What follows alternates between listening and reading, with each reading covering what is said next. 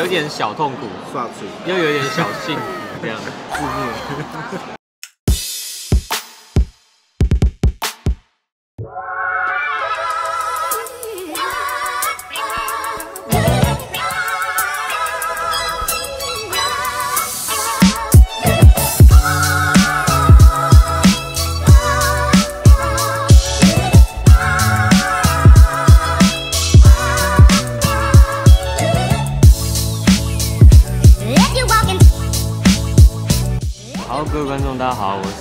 是谢炳乐 T 啦，呃，欢迎来到我的美食小记录。今天呢，是我第一次来吃 IKEA 的早餐，之前有非常多次都想要来吃，但是常常来吃 IKEA 的早餐，吃一个过头就变成午餐，然后就 错过早餐的餐点，所以这是我第一次实际吃到 IKEA 的早餐。然后呢，今天我的伙伴呢是大家想念已久的大白。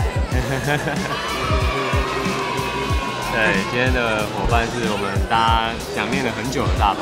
我第一次吃早餐，然后我们很可惜就是这一次我们的早餐没有薯饼，我们看到只剩下一片残破的薯饼。那片薯饼就是不会想要拿，因为你还是要花一样的钱去买那个薯饼。像我们点的这个早餐餐盘，它是四十九块，但你其实加一个薯饼，再加一碗汤，其实才六十九。所以好像加会比较划算，就蛮可惜没有加到，但是就是那个薯饼我真的买不下去。然后另外我们还买了一个沙拉，鸡的沙拉，就看起来蛮好吃的。因为之前每次来都会吃那个鲑鱼的，所以这一次就吃一个不同口味的沙拉。然后再来就是我们这一次来尝试了一些其他的东西，就是比较少会点的。然后其实好像我们会来吃有一个最主要的原因，当然就是我一直对 IKEA 的早餐都有抱有一种小期待。然后还有就是大白跟我提到说最近 IKEA 有换菜单，但我看好像就只换了一样新东西，对不对？好像是就一个菠菜面是吗？对，还有一个什么小龙虾的，对对对，一个小龙虾菠菜面。所以好像说换的东西并不是可以在那边待到。我们等一下逛一逛回来，也许可以再拍一下。Round two，对，我们就 round two 同一支影片，我们就先吃一下我们的早餐。然后其实我非常喜欢吃炒蛋，但是尤其是麦当劳的炒蛋，我超爱。因为麦当劳的炒蛋是你一定要点那种什么大早餐组合，然后它才会有炒蛋。就是你用其他的方式，你好像点不到。就是如果你说我想要吃一个汉堡再加炒蛋。是点不到的，你一定要点那个经典早餐餐盘才有。我们来试试看它的炒蛋吧。刚刚都有拍一些细节，其实它的早餐也是非常简单的，就是一块面包、一块火腿，然后胡萝卜、绿叶菜跟炒蛋，很简单，但是感觉不会过度调味，应该算健康的早餐了。因为其实如果说我们吃传统早餐店，通常会偏油炸一点，油一点。但是你看，像萝卜糕也是，萝卜糕的第一个动作是什么？先先下有，在这边吃早餐，第一个感觉就是，哦，我至少有烫的胡萝卜哎，光这个就觉得自己今今天健康到爆了。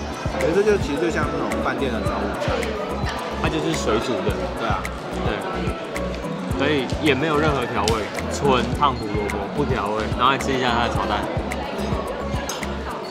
它炒蛋里面有料，我来看一下是什么料。麦当劳的是没有料，你看这里。这个这是它的料，你有吃到它里面是什么吗？很美，吃不太出来，口感跟蛋一点点接近，就是不太像肉类。但我觉得它炒蛋好好吃，再热一点点就好。因为我们来的时间是十点，所以其实十一点的它的正常的套餐就开始卖，所以我们来的算晚。而且他在我们面前把那个牌子翻过去，你有注意到吗？我有看到，有他在我们面前，我也是卖完。对对对，其实是，但是因为他已经在换菜单，跟麦当劳一样。嗯，所以说以 IKEA 的早餐来讲，我觉得只能给一个评论，就是非常清淡，健康啊，就是走一个清淡健康路线。可是它有一个，看网络上讲，它有个贴心的地方是，你早餐放到冷掉，它旁边有微波炉，哦，可以。自己加热。哦，OK，因为可能很多人睡醒啊，你坐在那边可能就是一两个小时，所以说你你的食物可能已经凉掉了，所以它用微波加热就可以吃。火腿算是里面比较重咸的东西了，它的火腿是很厚的，味道其实没有一般的火腿那么重，但是相较于完全没有调味的几样东西，已经算比较重一点。然后火腿很大一片，我觉得猪排，对对，有点像猪排的那种火腿。真的很厚哎，我觉得是应该是要搭这个面包。我们来你懂面包吗？不懂。它有点像那个很常吃到的台湾的面牛角面包的那个，就不是那一种很酥的那一种，不是金牛角，结构有点像。它好像是压扁是吗？就是把它压扁，你这样看，这是压扁。的，把它压成平的这样，有点像啊，有点像可颂。哦，但它有另外的可颂，可上的皮应该就会是脆，是酥的，对，然后它也是完全没有酱料的面包，但是面包本身有调味这样。就像前阵子很红的炸什么玫瑰盐的盐卷哦，我觉得单吃是 OK 的，这个面包单吃很 OK，就虽然它没有酱或没有包馅，但是我觉得它直接吃的调味是够。它直接吃的调味比蛋还要重，就如果说吃腻了比较重的东西，其实来偶尔吃一下这种的，好像会有一种自己觉得哦，今天吃的很健康那种感觉，还 OK。我们来吃一下这个吧，我们有一个是培根鸡肉卷，跟一个瑞士什么香肠。好，我来吃看，就是肉打成酱。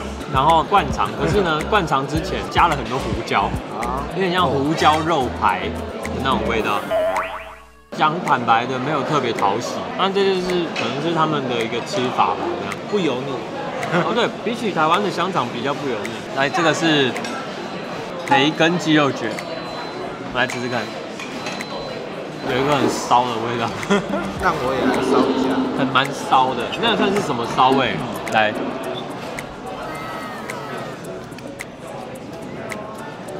是不是觉得很骚？我觉得它腌制的关系，会有一种哦异国料理的感觉，不是在台湾的味道。好，那么我们等一下呢，再回来吃。我要吃的是菠菜龙虾，对，菠菜小龙虾。那 Let's go，我们等待再一个小时吧。Let's go，继续吃。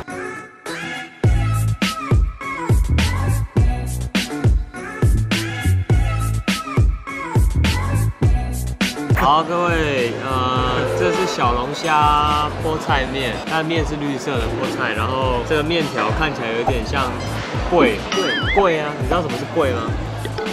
好，这个家伙没文化，连桂是什么都不知道，超啊桂或者是什么那种桂，它有一种半透明的绿的感觉。但是有一个比它更可怜的，就是这个龙虾。这龙虾它比我们一般在吃的虾仁还要小，但是它的这个酱感觉是味道会很腥的那种酱，所以刚刚大家有看到的话，应该就知道。但是我发现它好像卖的还不错。我在排队的时候前后都有点这个，它的这个酱来讲，感觉是台湾有一阵子蛮常用的这个酱。你拿你拿试试看，你只要是跟龙虾有关的，它就已经有用这种酱，因为龙虾沙拉就是这个酱的味道。好，我来先吃吃看啊，就是沾着这个酱，然后吃菠菜面。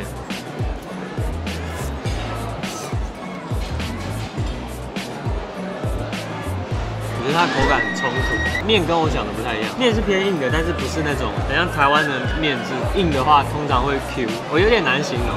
来吃吃看小龙虾啦，那龙虾是真的小，就感觉很像虾米，大概介于虾米跟虾仁之间。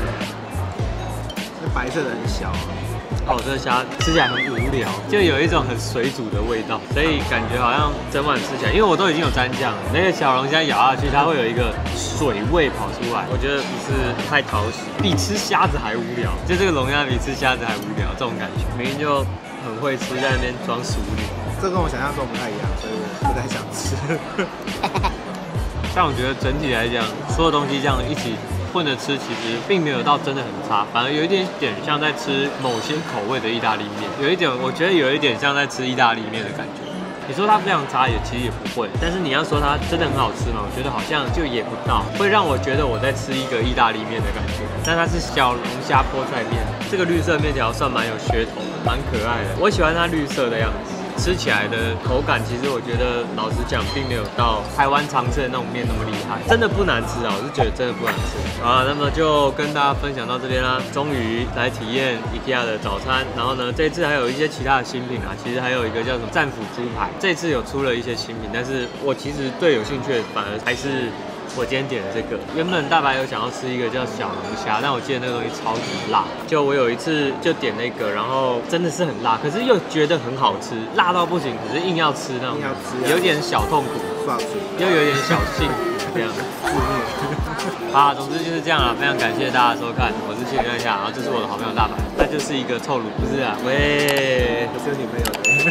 嗯，好啊，见你们，拜拜。